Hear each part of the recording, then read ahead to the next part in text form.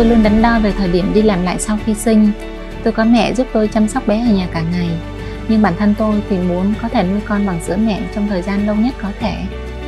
Vietnam is rapidly growing economy and with its reforms initiatives it's making this country to become part of the global platform. As a leader in sensor-based connectivity, technology and an employer of choice, we are constantly innovating and developing solutions that can help to address social concerns and challenges.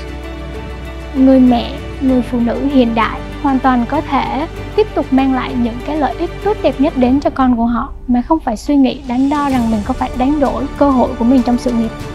Dự án Milky Way với mục đích hỗ trợ cho phụ nữ tiếp tục quá trình nuôi con bằng sữa mẹ thì điều đó đặc biệt thiết thực.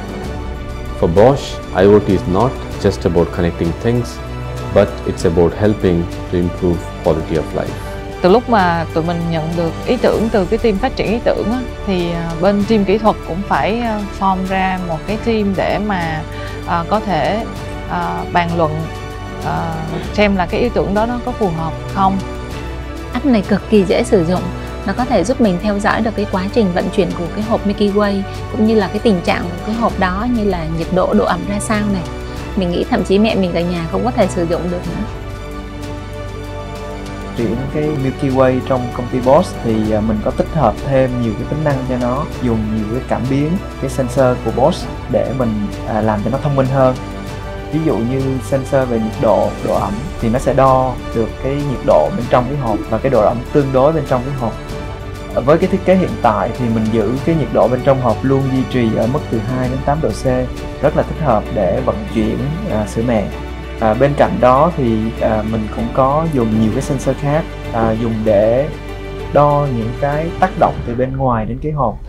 Ví dụ như GPS để định vị hộp trong quá trình vận chuyển mạng 3G, 4G à, để mình kết nối với dữ liệu đám mây truyền tải tất cả những cái thông tin mà mình đo được lên trên server.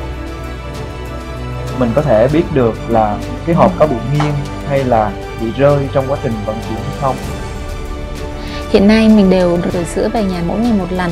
Quãng đường từ công ty về nhà khá là xa mất khoảng hơn 30 phút. À, Nhưng mà khi về tới nhà thì sữa vẫn đảm bảo được cái chất lượng và dinh dưỡng. Rất là vui vì cho dù ở nhà hay đi làm Tôi vẫn có thể nuôi con bằng sữa mẹ và là một người mẹ tốt.